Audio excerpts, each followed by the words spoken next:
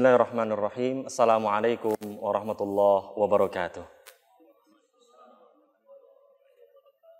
Hamdan wa syukranillah, salatan wa salaman ala rasulillah wa ala alihi wa sahbihi wa man walah. Pemirsa channel terpilih MTA TV di mana pun Anda berada, selain sebagai pusat ibadah kaum muslimin, masjid juga merupakan lambang kebesaran syiar dakwah Islam. Mengingat fungsinya yang strategis, perlu adanya pengelolaan yang tepat, baik dari sisi fisiknya maupun non-fisiknya. Sehingga cita-cita kaum muslimin untuk membangun kembali peradaban Islam berbasis masjid akan terwujud biiznillah. Nah, pemirsa, tema program spesial edisi kali ini adalah masjid sebagai sarana pemersatu umat. Program ini selenggara atas kerjasama Majelis Tafsir Al-Quran, MTA TV, dan pengelola Masjid Al-Kausar Madiun, serta seluruh elemen di Madiun. Dan nantinya pemirsa dapat menyaksikan acara eh, kali ini melalui channel terpilih MTA TV, yakni Parabola Free to Air, kemudian di satelit merah putih atau Telkom 4, IndiHome channel 853, dan 11 jaringan radio di seluruh Indonesia di bawahnya Majelis Tafsir Al-Quran. Dan pemirsa telah hadir di tengah-tengah kita narasumber yang akan membersamai kita bersama selama satu jam ke depan insya Allah. Beliau adalah Ustadz Lukman Hakim, merupakan pengelola Masjid Al-Kausar Madiun. Kemudian ada Kiai Ridwan, SPDI. Beliau adalah MWC, NU Kecamatan Manguharjo Madiun. Dan Ustadz Triharmoyo, selaku pengurus Majelis Tafsir Al-Quran Kota Dio. Kita sapa narasumber kita kali ini. Assalamualaikum warahmatullahi wabarakatuh, Ustaz. Waalaikumsalam warahmatullahi wabarakatuh. Masya Allah. Kabar sehat hari ini? Alhamdulillah sehat-sehat. Puasa lancar, Ustaz ya? Alhamdulillah lancar-lancar, insya Allah. Baik. Baik, pemirsa, di mana pun Anda berada, kali ini kita akan membahas sebuah tema yang penting bagi khususnya kaum muslimin di seluruh Indonesia, untuk membangun kembali peradaban Islam dan kaum muslimin melalui masjid. Nah, saya ke Ustadz Lukman Hakim terlebih dahulu, Ustadz. Sebenarnya seberapa penting persatuan Islam dan kaum muslimin bagi Ustadz sendiri? Seperti apa? Iya, uh, persatuan umat Islam itu memang sudah disampaikan Allah dan itu merupakan sebuah kewajiban. Jadi umat itu memang harus e, bersatu dan jangan berpecah belah. Ya, di dalam surat Al-Imran ayat 103 itu sudah jelas harus bersatu, tidak boleh berpecah. Ya, tidak boleh berpecah. Perintahnya bersatu dan janganlah kamu berpecah belah. Ya. Jadi sangat penting untuk bersatu itu. Tapi memang Allah juga sampaikan di dalam Al-Quran Al-Imran ayat 103 itu bahwa persatuan itu pasti ada godaannya. Apa godaannya? Ya akan dipecah belah.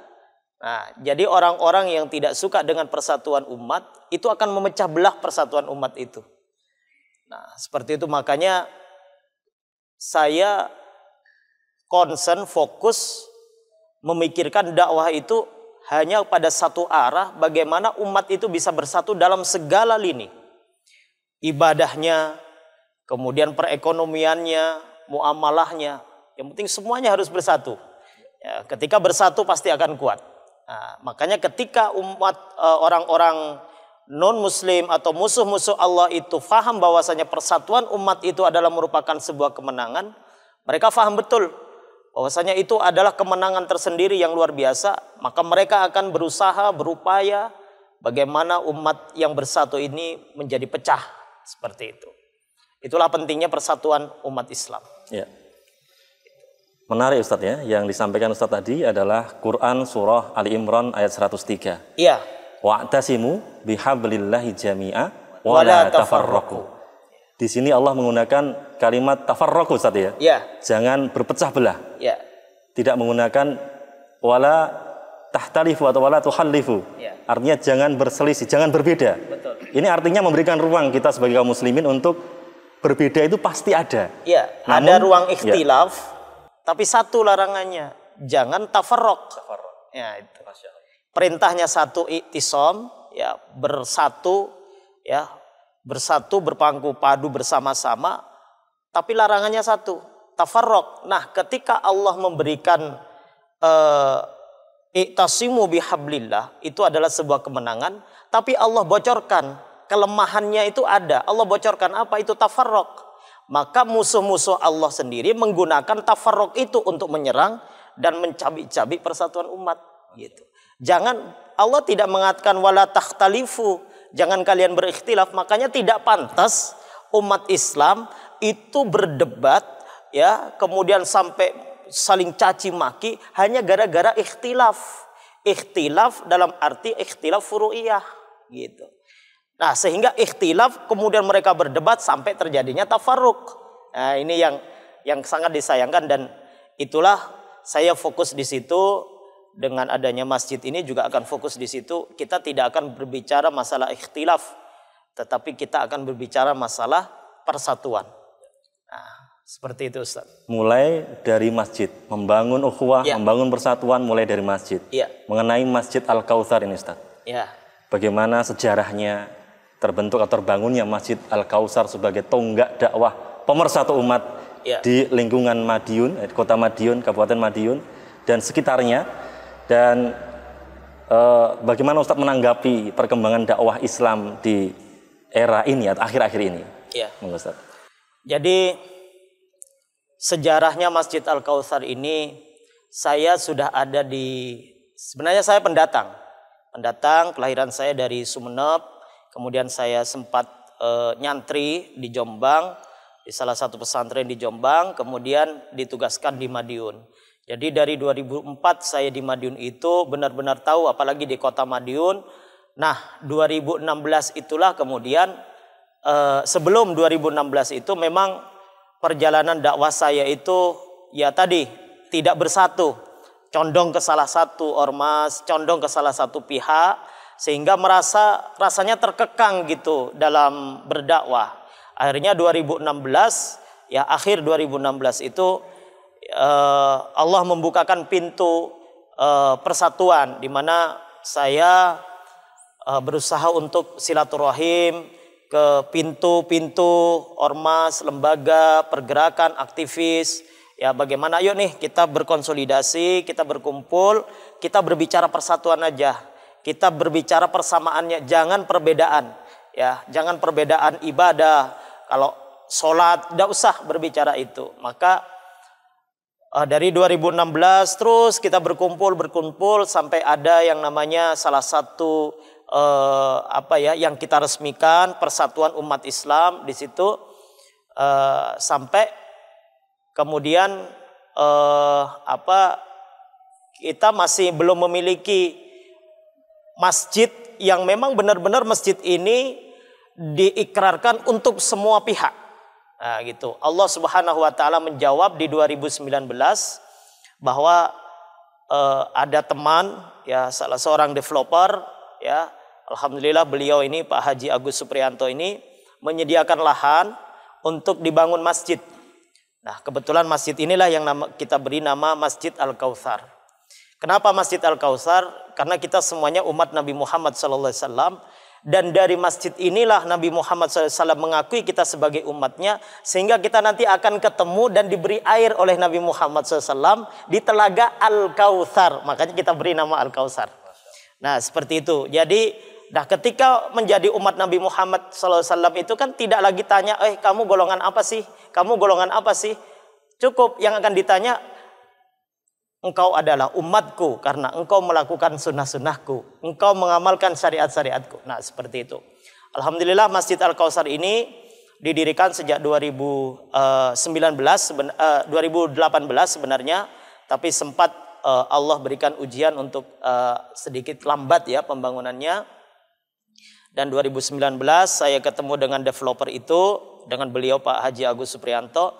Alhamdulillah per Januari 2020 kemarin masjid ini kita carikan donasi ya Allah Subhanahu wa taala bukakan pintunya satu tahun masjid ini selesai dan bisa digunakan untuk sholat lima waktu. Satu Jadi tahun. satu tahun ya. Padahal kalau masjid ini uh, dihitung-hitung sampai saat ini sudah kurang lebih ya, kurang lebih menelan biaya uh, kurang lebih 1,9 miliar. Ya, 1,9. Nah, dari setelah masjid ini kita gunakan, kami berdua dengan Pak Haji Agus Supriyanto ini uh, punya komitmen, punya komitmen masjid ini harus beda daripada yang lain, gitu. Masjid ini kita kelola tidak sama dengan masjid yang lain. Jadi konsep masjid ini adalah sebag, seperti perusahaan. Jadi seperti perusahaan di mana perusahaan itu pasti ada komisarisnya, ada direkturnya. Dan semua keputusan tentang sebuah perusahaan itu ada di direkturnya. Terutama dan juga otomatis dengan komisarisnya ya. Perusahaan apa? Perusahaan hotel. Ya, jadi kita Masjid Al Kausar ini kita konsep seperti hotel. Bagaimana kok seperti hotel? Hotel itu pasti servis yang lebih diutamakan. Dibuka 24 jam hotel itu. Enggak pernah hotel itu jam sekian sampai jam sekian buka, jam sekian sampai jam sekian tutup. Enggak pernah.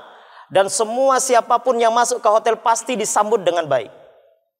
Kita akan menjadi budaknya orang yang datang ke hotel itu. Sama dengan di masjid ini. Kita hanya sebatas pelayan. Bagaimana orang-orang yang datang ke Masjid Al-Kausar, dia merasa nyaman. Dia haus, ada minumnya. Dia mau kopi, ada kopinya. Dia mau istirahat perjalanan, ada. Kita siapkan, walaupun masih belum selesai ya, 100% masjid ini. Tapi 24 jam. Bagaimana Masjid Al-Kausar menjadi masjid 24 jam. Dan itu tidak terbatas kepada siapa pun. Ketika ada orang yang datang ke sini, saya lapar. Masjid Al-Kausar bisa memberi, menyediakan makanan buat mereka. Nah, jadi konsep kita masjid ini seperti layaknya sebuah hotel gitu ya. Memberikan pelayanan prima, ya. Apa pun kebutuhan orang yang datang ke hotel itu akan kita layani. Hotel bisa digunakan untuk pernikahan, Masjid Al-Kausar harusnya bisa. Gitu. Untuk kajian, harusnya Masjid Al-Kausar bisa dan itu kita buka selebar-lebarnya siapa pun teman-teman yang ingin menggunakan Masjid Al-Kausar untuk kegiatan keagamaan, kita persilahkan. Kita hanya menyediakan aja. Sound systemnya kita sediakan, mereka sudah tidak kepanasan gitu ya. Semua kita sediakan. Silahkan membuat kegiatan-kegiatan di Masjid Al-Kausar. Seperti itu. Dari umat kembali ke umat. Ya, kita hanya pelayan aja. Jadi Pelayan, ya. kami ini pengelola tapi sekaligus pelayan. Jadi jangan mentang-mentang menjadi pengelola semuanya harus ngikut sama itu. Enggak. Kita justru lebih kepada apa yang menjadi kebutuhan umat itu yang kita kasihkan gitu. Walaupun memang masih fasilitasnya sampai saat ini masih belum sempurna gitu ya. Di bawah masih eh, ada pembangunan dan lain-lain. Tapi setidaknya sudah mulai nyaman lah. Baik, masya Allah. Semoga nanti pembangunannya cepat selesai, Ustaz ya. Amin. Bismillah. Amin ya rabbal alamin. Doa, Baik. doa dari kita semua lah Ya. insya Allah. Saya kemudian ke Kiai Haji Ridwan. Eh, beliau merupakan MWC NU Kecamatan Manguharjo, Madiun. Leres ya, Ustaz ya? Kiai? Leres, leres, leres. Masya Allah.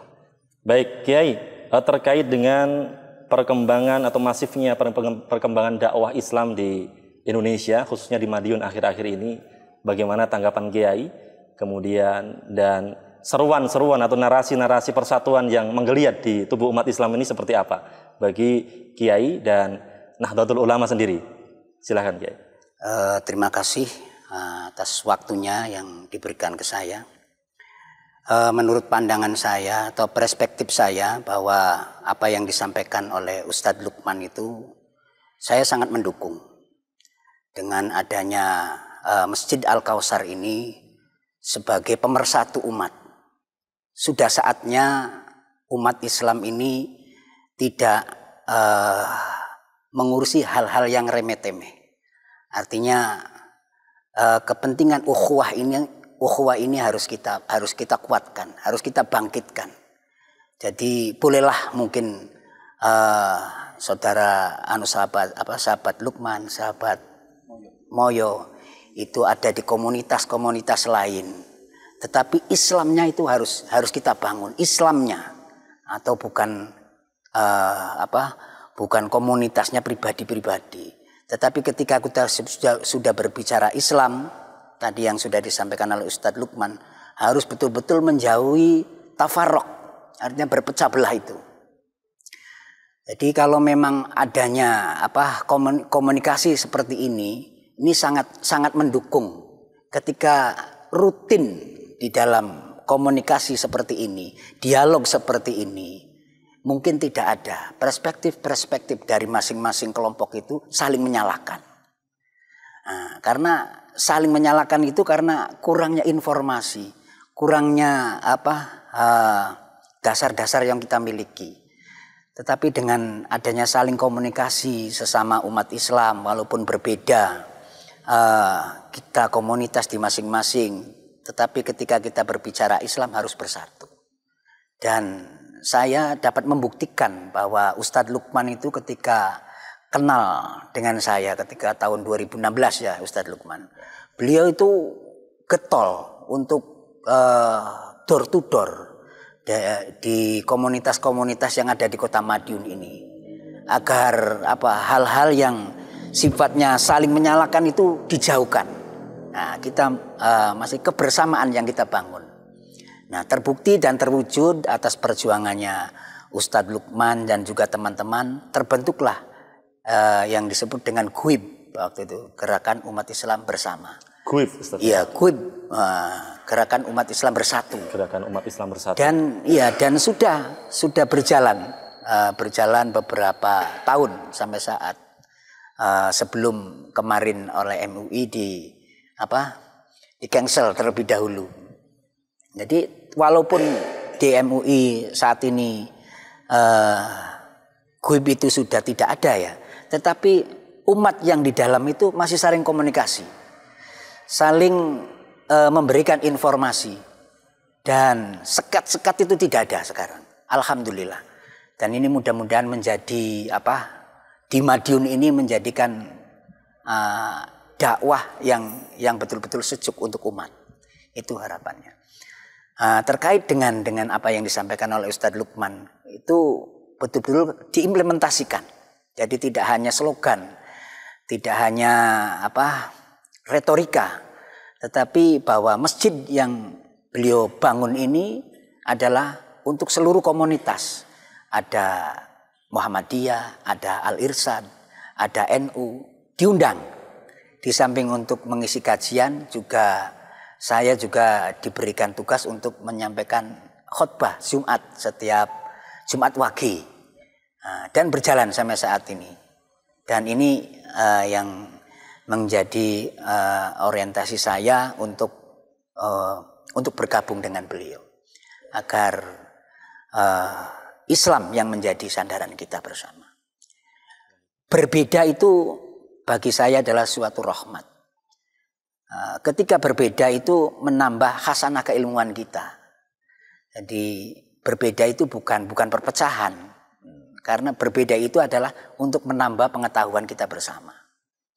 Nah, yang yang kita jaga itu adalah perbedaan ketika saling gontok-gontokan, saling menghina satu sama lain. Inilah yang yang uh, saya tidak inginkan. Sebab kalau saya melihat Eh, sesama umat Islam sangat memprihatinkan di timur di timur tengah sana. Sebagian uh, negara timur tengah sana itu adalah mayoritas Islam mayoritas Muslim. Tapi mereka itu gontok-gontokan bahkan saling tembak bahkan saling bunuh. Ini memprihatinkan. Dan hal itu jangan sampai terjadi di bumi kita yang tercinta Indonesia ini uh, untuk seperti uh, yang menjadi pelajaran di sana ayo Eh, acara-acara halakoh, acara-acara saling komunikasi, musyawarah ini terus berlanjut agar miskomunikasi di antara kita ini eh, betul-betul uh, uh, tidak ada. Gitu. Jadi yang ada adalah uh, secara emosional, uh, secara ukhuwah Islamiyah kita saling membangun, saling mengisi uh, di antara kita dari masing-masing kelemahan. Saya kira demikian uh, yang saya sampaikan. Pokoknya sekali lagi dengan prinsip agenda program yang dicetuskan oleh Ustadz Lukman uh, akan kami dukung. Uh, akan kami dukung dan kami akan membantu apa yang menjadi harapan-harapannya. Semoga diridhoi oleh Allah. Amin. Saya kira demikian dari saya. Assalamualaikum warahmatullahi wabarakatuh. Belum selesai Kiai tapi Belum. ya. Oh iya iya. Masih ada banyak sekali pertanyaan-pertanyaan Iya. yang harus kita jawab agar umat tercerahkan. Iya. Sehingga tidak ada lagi perselisihan-perselisihan eh, yang mengakibatkan perpecahan di bawah. Iya. Karena memang sumbernya biasanya dari bawah ya ya. Ya, Tokoh-tokohnya bisa kumpul bareng, ngopi bareng, ngeteh bareng seperti Iya. saat ini misalnya. Kadang-kala tidak tersampaikan ke ke kalangan bawah umat Islam. Sehingga mereka terus gontok-gontokan dan semoga dengan adanya acara ini pesan itu tersampaikan. Narasi-narasi persatuan kembali eh, kepada Islam untuk li- i'la'i kalimatillah bersatu berukhuwah semakin mencuat lagi. Gitu Ustaz ya, Kiai. Iya, iya, iya. Baik. Betul, betul, betul. Eh, Kiai berarti kuncinya tadi di komunikasi. Ya, Harus sering-sering harus harus dibangun, dibangun, bersilaturahmi. dibangun komunikasi, Ya. silaturahim. Ya. Baik, barangkali mungkin ke depan mungkin bisa diagendakan barangkali saling kunjung mengunjungi Kiai, ada buat program untuk saling bersilaturahmi. Barangkali bulan ini ke Muhammadiyah, kemudian besok ke Nahdlatul Ulama, ke Majelis Tafsir Al-Qur'an dan ke semua elemen umat Islam gitu Kiai ya. Iya. Ya. Barangkali itu juga merupakan program dari GUP itu sendiri Kiai. Bisa Ya, dijelaskan. GUB itu juga punya program seperti itu. Jadi ada agenda bulanan, Ustadz ya. Agenda bulanan, satu bulan dua kali, eh, dan satu bulan satu kali bertemu dari masjid ke masjid. Ya, dari masjid ke masjid di sana kita saling saling berkomunikasi, saling bermusyawarah, berdialog terkait dengan dengan Islam yang menjadi eh, milik kita bersama itu. Bahkan bagi bagi kita itu adalah ukhuwah itu bukan hanya dibangun untuk umat Islam tetapi ukhuwah Islamnya penting, ukh- ukhuwah basarnya penting, ukhuwah watonia juga penting. Nah, inilah yang yang harus dibangun tiga tiga pilar ini bagi bagi saya adalah sangat penting. Jadi eh, mayoritas memang umat Islam di Indonesia, tapi juga Islam kan eh, berada di bumi ini sebagai rahmat. Artinya melindungi juga yang minoritas-minoritas. Eh, tidak boleh kan kita walaupun eh, agama kita berbeda, tetapi kita mencaci mereka kan tidak boleh. Ini yang yang harus kita jaga bahwa lakum dinukum wal yadin ini juga harus kita bangun. Itu yang yang menjadi prinsip saya. Ukhuwah Islamiyah, ukhuwah Basariyah, dan ukhuwah Watoniyah. Watonia. Ya. Masya Allah. Jadi pentingnya kita sebagai umat Islam membangun ukhuwah tidak hanya sesama umat Islam tetapi juga sesama manusia dalam satu bangsa khususnya bangsa Indonesia. Saya ke Ustadz Tri Harmoyo, beliau adalah pengurus Majelis Tafsir Al-Quran di Kota Madiun, begitu Ustadz ya. Baik, MTA sebagai salah satu elemen umat Islam di Madiun yang turut serta ikut mendukung kegiatan elemen umat Islam Madiun untuk membangun narasi persatuan. Bahkan tidak hanya na- narasi tapi juga aksi untuk membangun persatuan mulai dari masjid gitu Ustaz ya. Bagaimana Ustaz eh, selama ini pergerakannya? Jadi alhamdulillah kita itu sama sebetulnya. ya. Ustadz Lukman, Kiai Ridwan, NU Muhammadiyah, MTA dan elemen-elemen Islam yang lain itu sama. Punya tujuan yang sama. Dan sama-sama berpegang pada Al-Quran dan Sunnah. Yang mana di dalamnya sangat menekankan ukhuwah. Baik ukhuwah Islamiyah maupun ukhuwah Basyariah. Ukhuwah Watoniyah juga. Karena Islam itu rahmatalil alamin. Nah, kalau eh, kepada seluruh alam saja Islam membawa rahmat, apalagi kepada internal umat Islam sendiri. Bahkan tidak dikendaki orang Islam itu eksklusif atau nafsi-nafsi, hanya memikirkan komunitasnya sendiri gitu ya Kiai Ridwan ya. Maka alhamdulillah dengan ukhuwah yang kita bangun di Madiun ini bersama eh, elemen-elemen Islam yang lain, termasuk MUI di dalamnya, termasuk tadi beberapa elemen dari NU, Muhammadiyah, MTA, eh, terus Al-Irsyad, dan yang PSM, Al-Islam, terus yang lain-lain banyak, banyak sekali, nggak bisa kami sebutkan. itu bisa bersinergi, bisa bersilaturahmi, bisa kerjasama juga kemarin waktu eh, corona gencar-gencarnya majelis MTA disemprot teman-teman Banser NU. Teman-teman MTA, SAR MTA juga hadir itu, juga evakuasi tawon di pondok NU di Kebun Sari sana. Alhamdulillah itu jadi hal-hal yang bisa kita bersinergi, kita kerjakan sama-sama, ya kita kerjakan sama-sama. Alhamdulillah. Itu bentuk dari komitmen kita kalau di dalam Al-Quran itu kan disuruhkan oleh Allah A'udzubillahiminasyaitonirrajim innamal mu'minuna ikhwah fa aslihu baina akhwaikum wattaqullaha lalakum turhamun jadi Allah menerangkan innamal mu'minuna ikhwah sesungguhnya orang-orang yang beriman itu bersaudara. Nah orang-orang yang beriman itu kan tidak NU saja, tidak Muhammadiyah saja, tidak MTA saja, tidak Al-Islam, PSM, Al-Irsad dan lain sebagainya. Tapi yang ada di dalamnya, dalam kom, dalam komunitas apa pun, dari daerah mana pun, dari suku bangsa apa pun, sepanjang mereka itu beriman, maka kita sama-sama saudara. Maka perintahnya Allah fa'aslihu, damaikanlah, ciptakanlah suasana damai, ciptakanlah suasana yang mendamaikan satu sama yang lain. Artinya apa? Berarti kita dilarang keras oleh Allah untuk membuat sesuatu yang menimbulkan perpecahan, menimbulkan keributan, permusuhan. Hadisnya Nabi juga demikian kan, silman koto aka, wa timan haromaka, wa aman dolamaka. Agar kita menyambung orang-orang yang memutus persaudaraan dengan kita. Itu berlaku umum, siapa pun yang memutus persaudaraan kita, kita sambung. Nabi saja didolimi orang kafir ya, e, diludahi ketika mau ke masjid.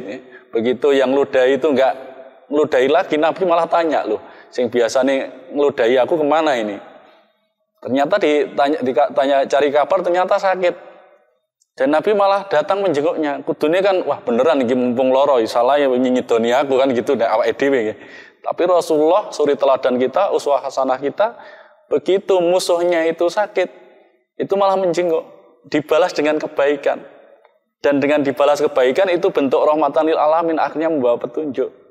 Mendatangkan keislaman bagi orang yang meludahi tadi. Masya Allah. Jadi yang kita emban atau misi dakwah kenabian itu kan seperti itu. Makanya Islam rahmatan lil alamin, kita ciptakan suasana damai. Kalau sama elemen muslim gontok-gontokan, bagaimana saudara kita yang di luar melihat? Loh, ono podo wong islame gak akur apa meneh karo.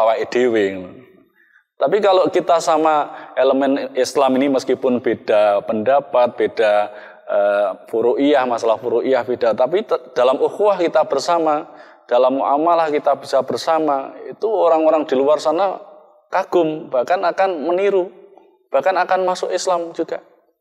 Karena apa takjub ya karena terpesona mendapat hidayah dengan itu. Jadi suhada alam nas atau orang Islam itu menjadi saksi bagi segenap manusia itu kan ketika orang Islam itu melaksanakan keislamannya dengan baik. Salah satunya juga ukhuwah itu tadi. Karena apa dalam ukhuwah kan tidak ada yang namanya caci maki, saling menghina, saling merendahkan.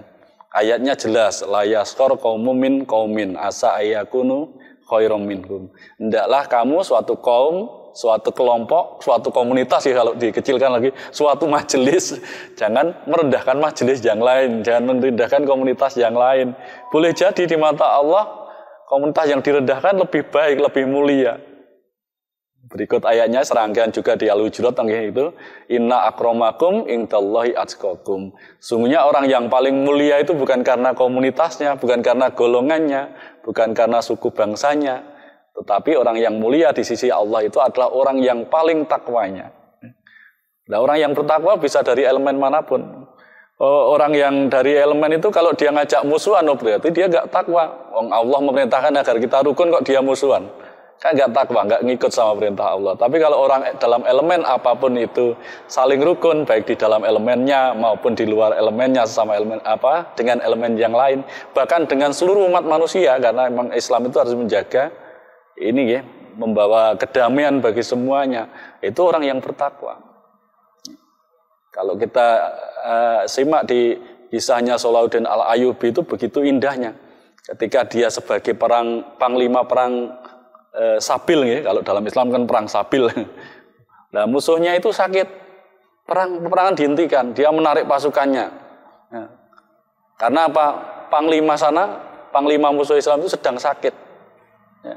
Karena apa? Dia sebagai manusia juga kita juga manusia. Salahuddin Al-Ayyubi terpanggil untuk datang. Karena kalau dia datang terang-terangan nanti di, dikira yang enggak-enggak, wah ini pihak loro terus tekor mateni aku ini. Nah, dia pakai penutup muka sehingga tidak dikenal kalau dia itu musuhnya. Ternyata datang ke situ dia tidak mengobati eh, panglima musuhnya itu yang sakit dan diobati sampai sembuh. Dan begitu sembuh, ya, ini heran, ini siapa? Merawatnya juga sudah beda karena tangan orang Islam kan halus gitu, sopan santun, lemah lembut walaupun dengan musuhnya tapi dia manusia. Dia lemah lembut bukan karena dia bukan karena melayani manusia itu tapi karena Allah. Allah memang memerintahkan agar kita mencintai yang di bumi ini saya, yang di langit akan mencintai bukan itu. Sayangilah yang di bumi, yang di langit akan sayang padamu. Nah, Salahuddin Alayubi begitu melakukan melaksanakan akhlak Islam itu sebaik-baiknya. Ini siapa ini orang halus lembut Begitu sembuh, Salahuddin Alayubi buka topengnya. Aku adalah musuhmu karena kamu sudah siap. Besok kita ketemu di medan perang sama-sama kesatria. Itu akhlak Islam dengan non-muslim, dengan orang apalagi sama Islam harus lebih kasih sayang. Maka seperti yang Insya Allah seperti yang Ustadz Lukman Hakim itu sudah rintis. Dulu beliau juga ke NU, ke MTA juga ya Ustadz ya. Ke MTA, ke mana-mana semua dikunjungi ada GSB dulu ya gerakan subuh berjamaah bareng-bareng seluruh elemen jadi indah yang demikian itu. Jadi begitu dan alhamdulillah eh, kami dari MTA ini juga diakomodasi eh, diakomodir ya ditampung oleh Ustadz Lukman juga untuk menggunakan masjid ini. Kami diberi kesempatan untuk ngimami sholat tarweh pada waktu itu. Dari MTA juga mengisi tausiah. Bahkan wis jauh-jauh sudah saya tembung. Nanti kalau MTA ada event apa-apa pakai masjid ini boleh tak? Boleh, silahkan. Hmm. Jadi masjid ini memang umum terbuka untuk untuk seluruh umat. Gih, kami kira demikian yang kami sampaikan. Selanjutnya kami kembalikan. Mulai dari hal yang kecil Ustaz ya. Hal-hal yang kecil yang itu adalah merupakan kebaikan kita tularkan sehingga mewujudkan sebuah kebersamaan Baik, mulai dari masjid kita wujudkan kebersamaan, begitu kurang lebih Ustaz ya. Kegiatan-kegiatan apa Ustaz Lukman uh, di Masjid Al-Kautsar ini yang bisa menguatkan kebersamaan itu? Mungkin yang sudah dilakukan. Iya. Uh, selama ini karena memang Masjid Al Kautsar ini kan baru beroperasi ya, baru bisa dimanfaatkan itu satu tahun yang lalu. Kemudian sholat Jumat saja baru kurang lebih enam bulan yang lalu baru sholat Jumat ya.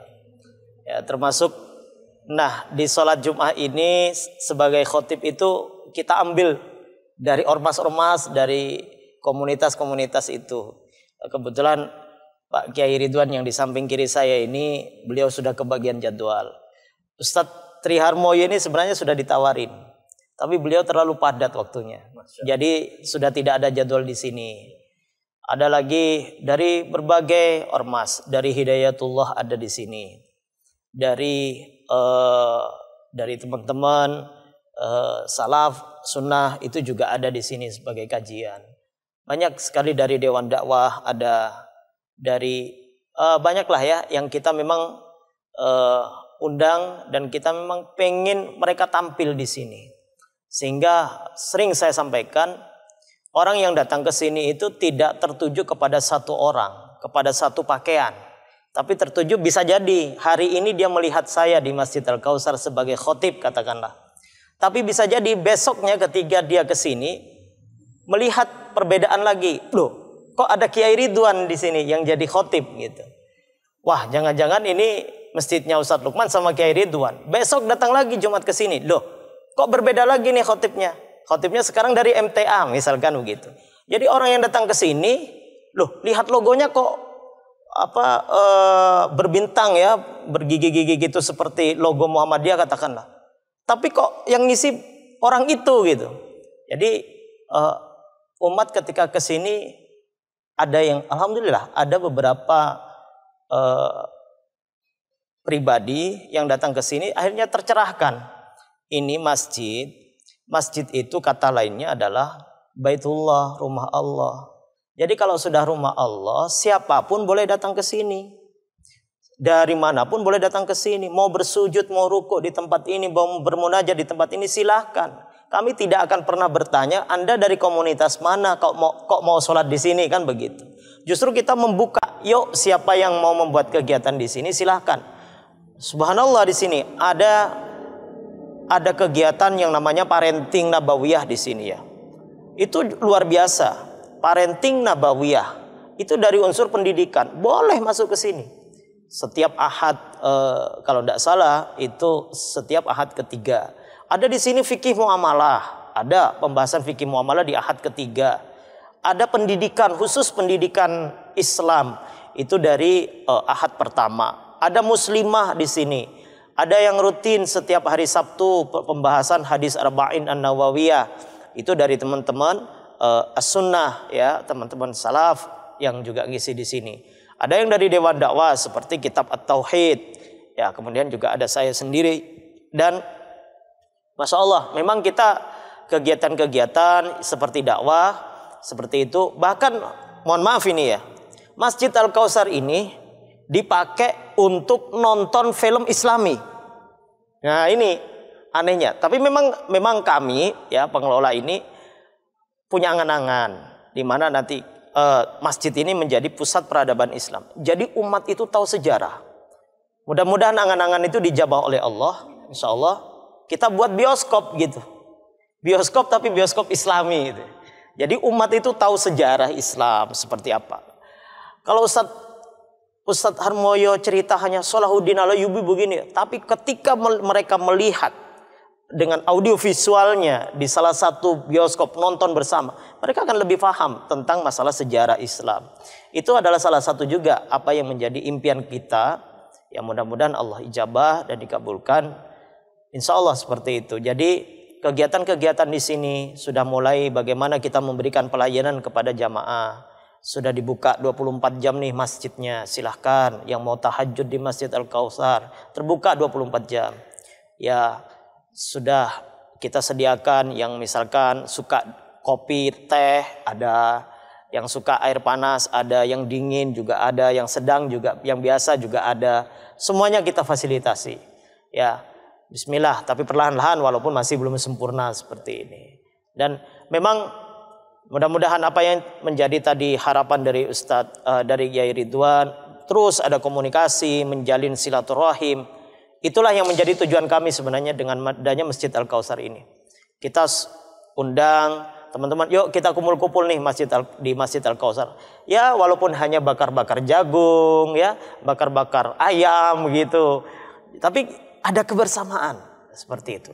Maka ketika ada kegiatan di Masjid Al-Kausar, teman-teman juga bisa hadir ke Masjid Al-Kausar. Sebenarnya bukan hanya berdua ini yang sudah apa yang sudah kita sudah terjalin komunikasi banyak sekali. Ada yang dari ormasnya, ada yang dari yayasan, bahkan ada yang dari uh, apa itu istilahnya las las las ya las itu. Jadi amil-amil zakat ya seperti katakanlah ACT, yatim mandiri, itu sudah sudah bergabung selalu menggunakan masjid ini juga untuk kegiatan-kegiatan mereka. Masya Allah, mudah-mudahan Allah uh, buka jalan, masjid ini diberikan kemudahan, kelancaran, Allah membantu kita semua. Itu harapan. Jadi fungsi masjid tidak hanya digunakan untuk uh, ritual ibadah saja. Betul. Ya? Nah, bahkan ada lagi nih yang lebih aneh lagi nih. Jadi Masjid Al Kausar ini kan memiliki rest area ya. Pernah ada satu komunitas, namanya komunitas Suranisia Madiun itu, menggunakan Masjid Al-Kausar halamannya ini untuk senam ibu-ibu. Jadi senam ibu-ibu. Jadi biasa ada musik senamnya, tapi di, di luar. Kalau di dalam kan tidak mungkin ya. Di luar, jadi rame di situ. Ada yang bazar UMKM di luar. Subhanallah luar biasa.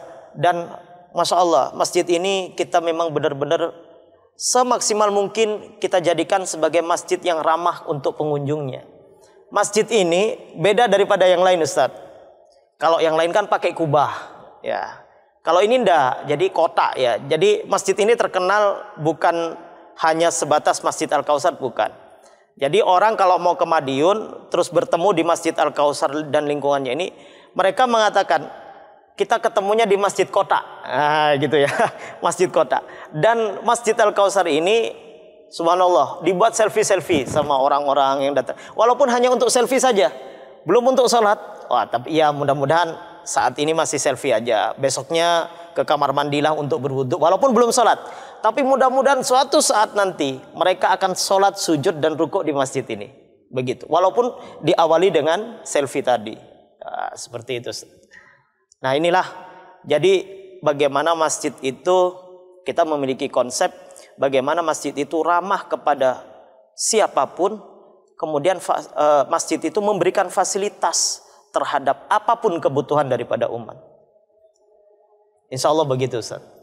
Ada kegiatan edukasi berupa kajian-kajian tadi, uh -uh. sosial juga bergabung ya. dengan badan-badan uh, sosial, iya, betul. kemudian kegiatan ekonomi juga UMKM uh, dan terusnya, ya. kesehatan dan ya. lain sebagainya, Ustaz ya. Ada kendala nggak, Ustaz, dalam uh, mewujudkan kegiatan-kegiatan tersebut agar lancar seperti itu sehingga kebersamaan dan persatuan umat terjalin dengan baik? Seperti apa, Ustaz? Kendala-kendala yang dihadapi? Kalau kendala itu berarti mestinya ke uh, negatif ya kalau sudah berjalan itu berarti kan alhamdulillah. Kalau kendala itu berarti negatif. Kendalanya saya dan bersama Pak Haji Agus Supriyanto ini kan memang memiliki konsep pokoknya kita menjadi pelayan Allah begitu. Otomatis kalau kita ingin menjadi pelayan Allah, kendalanya ada dua. Ada dua dan itu ada di dalam Al-Qur'an surat Al-Anfal ayat 28 kalau tidak salah itu ya.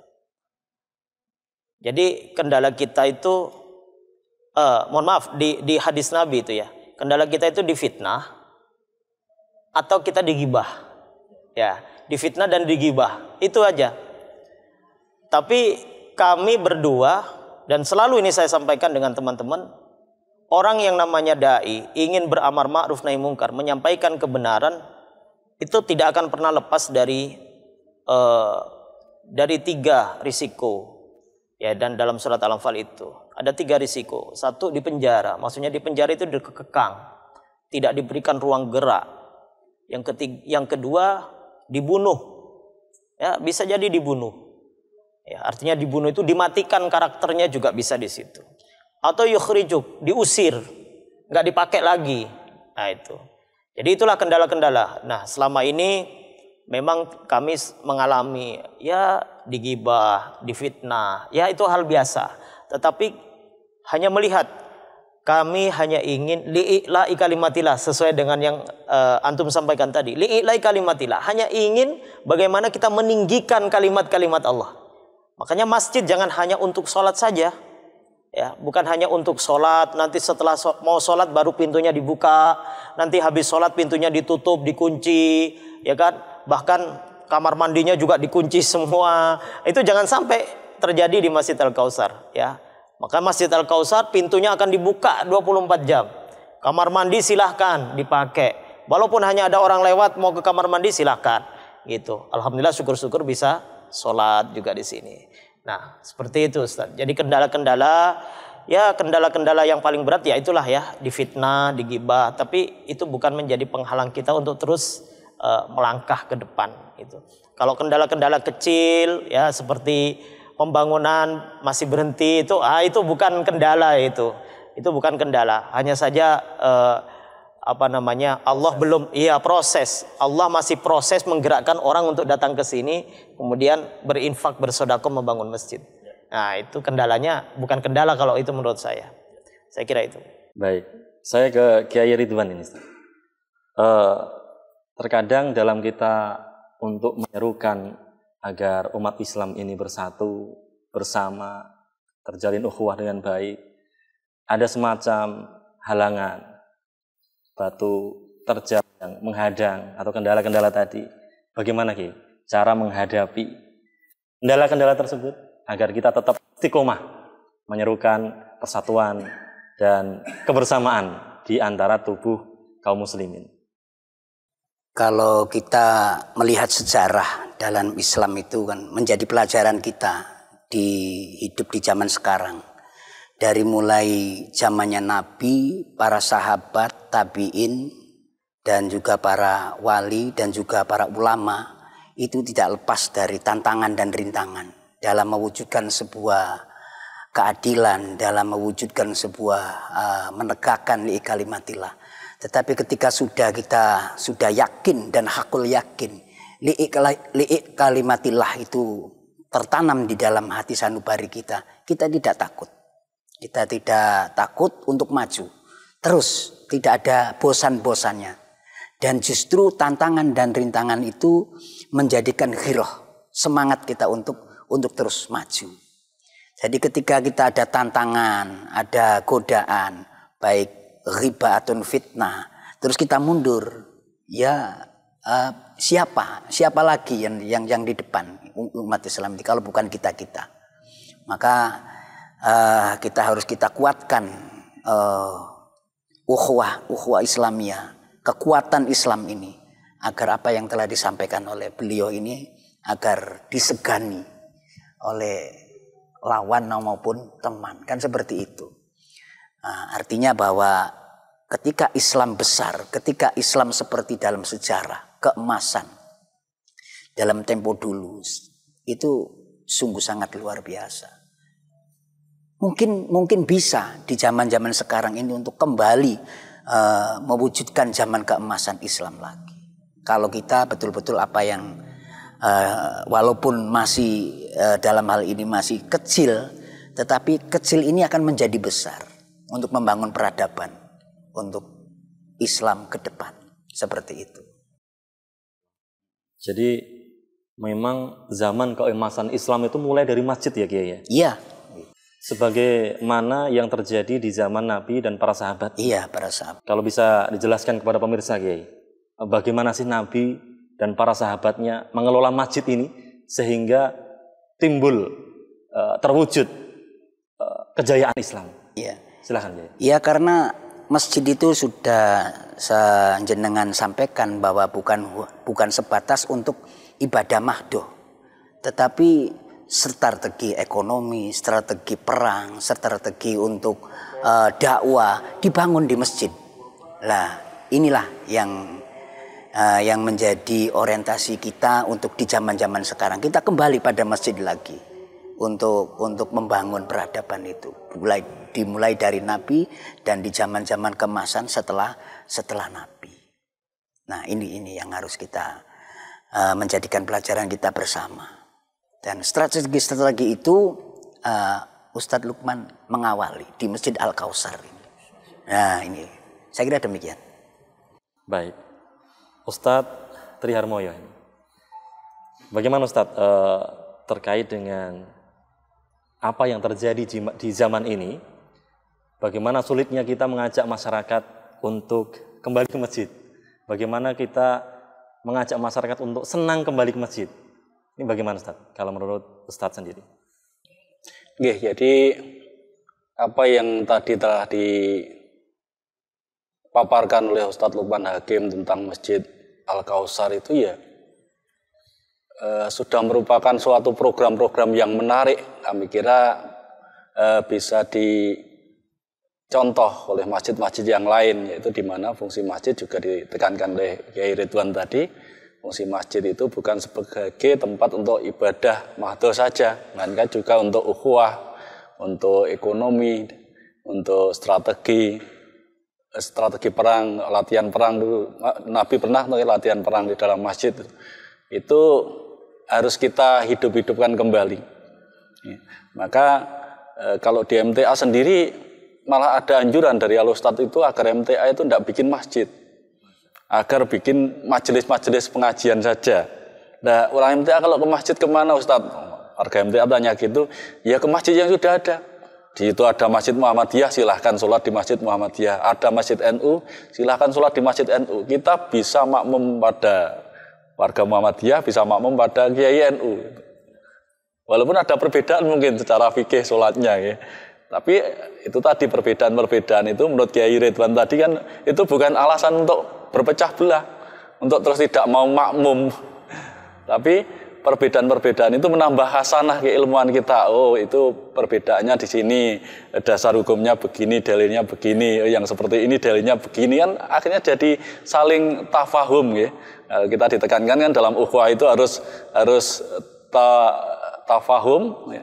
saling memahami, harus ta'aruf, saling kenal mengenal, akhirnya terus saling takaful, saling tolong menolong, saling melengkapi. Nah, itu mari kita kembangkan. Maka di MTA itu eh, ditekankan pelajaran-pelajaran tentang memakmurkan masjid disampaikan, dalil-dalilnya, Quran hadisnya disampaikan, tapi bukan untuk eksklusif terus orang MTA bikin masjid sendiri. Tapi silahkan bergabung kepada masjid-masjid yang sudah ada.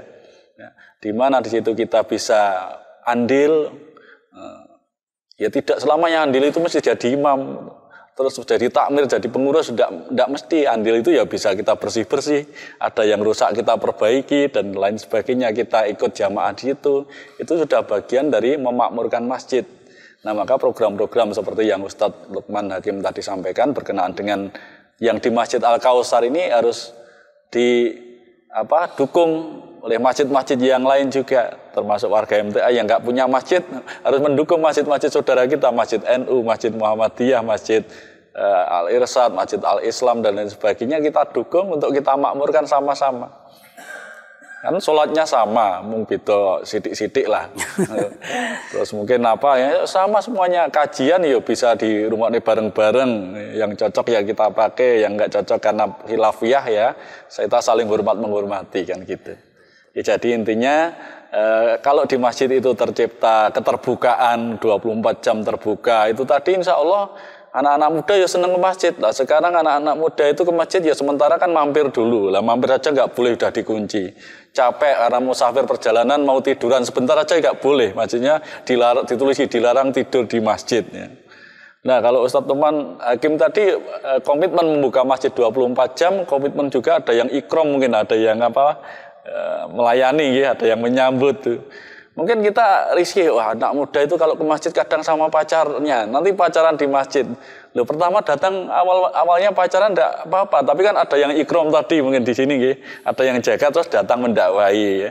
Disampaikan panjenengan belum ini belum sah, harus menjaga hubungan, menjaga kesucian. Itu kan luar biasa. Bisa jadi anak-anak muda yang tadi ke sini awalnya pacaran itu bisa jadi dapat hidayah dari dakwah kita, pengelola masjid. Jadi masjid ini ya luas pengelolaannya itu. Eh, kami kira nanti ke depannya Masjid Al Kausar ini bisa menjadi percontohan seperti itu. Amin, nanti kita amin, adakan pelatihan takmir masjid atau pelatihan pengelolaan masjid gitu. Baik Ustaz. Tak terasa Ustaz, ini kita sudah di menit-menit terakhir. Barangkali singkat saja harapan Ustaz. Dimulai dari Ustaz Lukman kepada kita umat Islam semuanya, generasi umat Islam, untuk senantiasa senang memakmurkan masjid dan senang bersama alaikum bil jamaah. Silahkan Tad. Ya, uh, sudah jelas. Rasulullah SAW mendakwahkan Islam itu di Madinah yang dibangun pertama kali bahkan sebelum beliau sampai ke Madinah beliau sudah apa yang beliau lakukan pertama kali adalah membangun masjid dan membangun masjid itu bukan hanya fisiknya, tapi bagaimana karakter di masjid, kemudian sosial yang ada di masjid, lingkungan masjid itu harus juga terjaga. Nah, ini ada yang mungkin saya ingin sampaikan. Masjid ini adalah Masjid Al-Kautsar ini adalah masjid yang ramah anak muda. Di mana setiap malam itu ada anak-anak muda-muda lewat, itu mampir ke masjid ini hanya untuk main wifi. Karena Masjid Al-Kautsar menyediakan wifi unlimited. Oh, dan itu tegangannya besar itu ya. Jadi mereka hanya ingin wifi. Wifi-nya kita ini passwordnya kita sampaikan di luar itu. Jadi seperti itu. Maka harapan saya kepada umat Islam terutama yang hari ini menyandang amanah menjadi takmir atau pengelola masjid. Jadi jadikan masjid itu bukan miliknya takmir. Tapi jadikanlah rubah mindsetnya bahwa masjid itu adalah rumah Allah yang dititipkan. Ya, jadi takmir atau pengelola atau apa itu hanya sebatas yang dikasih amanah sama Allah untuk menjaga rumah Allah gitu. Bukan untuk mengatur rumah Allah. Ya, apalagi mohon maaf nih, mentang-mentang bisa nutup rumah Allah. Coba bayangkan ketika masjid itu ditutup di di jam di sepertiga malam di mana Allah perintahkan untuk di sepertiga malam untuk tahajud. Kemudian ada hamba Allah yang mau datang ke masjid itu tapi masjidnya dalam kondisi terkunci rapat. Itu Masya Allah itu kita ini mengambil hak Allah gitu. Rumah Allah kita seolah-olah rampas gitu ya. Harapan saya yuk kepada umat Islam terutama yang tadi menyandang amanah menjadi takmir atau pengelola masjid, nih, yuk kita jadikan masjid itu kita posisikan diri bahwasanya masjid itu adalah rumah Allah, harus digunakan oleh hamba Allah sendiri untuk kepentingan si hamba itu. Dan yang berikutnya harapannya kepada umat Islam sudahlah masjid itu kita gunakan untuk kegiatan-kegiatan Islam. Jangan hanya kita itu dari katanya, katanya, katanya tentang Islam, sedangkan kita sendiri nggak pernah membuka dan nggak pernah belajar. Buatlah majelis-majelis taklim di masjid-masjid, dibahaslah.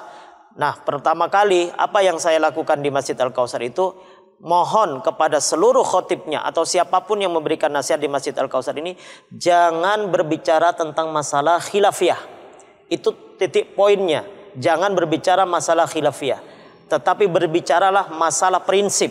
Berbicaralah masalah usuliyah. Ya, jadi yang pokok-pokoknya saja. Jangan berbicara masalah khilafiyah karena ini sangat-sangat rentan. Silahkan yang punya khilafiyah masuk di khilafiyah A, silahkan lakukan itu, yang B juga silahkan itu, yang C juga silahkan itu. Artinya apa? Mari kita bersatu ada PR besar di hadapan mata kita yang, yang memerlukan persatuan kita.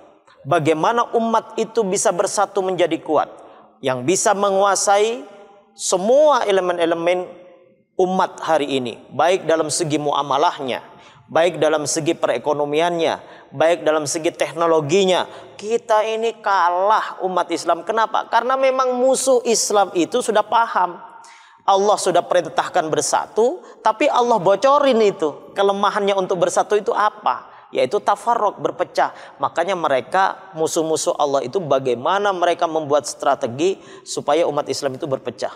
Nah, perpecahan umat Islam itu, Masya Allah, terjadi itu kebanyakan nih mudah-mudahan tidak terjadi di kita naudzubillah min dzalik itu justru tokoh-tokohnya yang disengaja untuk diprovokasi supaya mereka membuat perpecahan di dalam tubuh kaum muslimin itu sendiri. Harapan kita mudah-mudahan silaturahim dari umat Islam itu terus terjalin sehingga kita juga terus bisa memperkuat uh, persatuan ukhuwah baik itu ukhuwah al-islamiyah, ukhuwah basyariah dan ukhuwah watoniyah kita benar-benar kuat dari segala elemen umat, ormas, lembaga dan lain komunitas dan segala macam. Insya Allah itu harapannya. Baik. Kiai Ridwan, ya, sedikit saja, saja ya. Pesan kepada umat Islam uh, bahwa masjid kembali kepada fungsi masjid adalah untuk bagaimana jamaah itu bisa betah, bisa kerasan. Bisa kerasan, bisa betah. Ini tergantung kembali kepada pengurus atau takmir. Uh, untuk bagaimana ramah terhadap pengunjung, ramah pada musafir, ramah pada ah, anak-anak, uh, juga ramah pada anak muda, ramah pada orang tua tidak membeda-bedakan. Nah, kembalikan masjid itu seperti itu. Insya Allah masjid itu akan ramai dengan syiarnya. Saya kira demikian. Ustadz Tri Harmoyo, pesan kepada umat agar kembali ke masjid dan kembali senang untuk menyerukan kebersamaan. Silahkan. Oke, jadi kita hidupkan lagi masjid-masjid kita. Kalau dulu itu ada dalam regenerasi itu ada yang namanya Risma atau Irma, Ikatan Remaja Masjid atau Irma atau Risma remaja Islam masjid atau apa ya dulu ya zaman-zaman dulu. Nah, kita kita dulu itu mungkin aktivis Risma. Nah, kayaknya sekarang ini agak berkurang gitu agak berkurang. Jadi mari kita hidupkan lagi. Eh, karena itu bentuk kaderisasi kita bagi yang tua-tua untuk pada yang muda agar yang muda itu cinta masjid. Nah, kalau sekarang melalui teknologi media itu luar biasa. Maka saya saya juga apa kagum sama Masjid Al Kawasar ini juga publikasi secara media terus terus Jadi kajian live, kajian saya biarpun tidak ada di sini kadang ikutin ngikutin. YouTube Ustaz. Streaming. Ya, jadi begitu alhamdulillah. Jadi eh, media-media ini ya kita gunakan media publikasi untuk informasi-informasi kajian, juga kajian secara streaming, secara live itu. Nah, nanti berawal dari dengerin streaming lama-lama bisa datang ke sini gitu. Jadi seperti itulah kita gunakan media-media teknologi ini untuk untuk dakwah sebagai wasilah atau sebagai sarana untuk menyampaikan hidayah-hidayahnya Allah. Baik, Masya Allah. Terima kasih Ustadz Lukman, Kiai Ridwan, dan Sama-sama, Ustadz Tri Harmoyo. Semoga pertemuan kali ini bermanfaat untuk kaum muslimin. Amin, untuk amin, amin. Senang, bergembira, ya, kembali ke masjid, membangun kebersamaan dan ukhuwah Islamiyah. Assalamualaikum warahmatullahi wabarakatuh. Waalaikumsalam warahmatullahi wabarakatuh. Ya, pemirsa di mana pun Anda berada, demikian perjumpaan kita di program spesial edisi kali ini. Semoga program ini membawa manfaat untuk kita dan kaum muslimin seluruhnya. Saya Anda Prasetyo undur diri bersama kru yang bertugas. Allah Subhanahu wa taala berkalam dalam surah At-Taubah ayat 18, sesungguhnya hanyalah orang-orang yang beriman yang memakmurkan masjid. Mereka beriman kepada Allah dan hari kemudian. Terima kasih. Walafu minkum. Assalamualaikum warahmatullahi wabarakatuh.